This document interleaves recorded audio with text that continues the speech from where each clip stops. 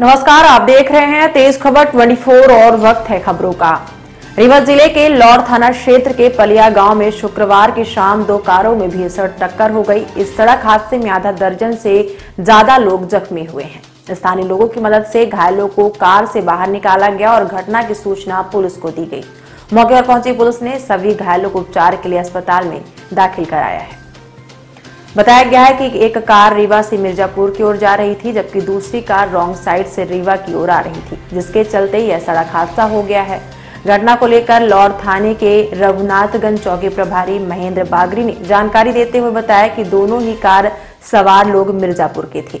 एक कार रीवा से मिर्जापुर जा रही थी, जबकि दूसरी कार मिर्जापुर से रीवा की ओर जा रही थी। इसी दौरान पलिया गाँव के समीप यह हादसा हो गया।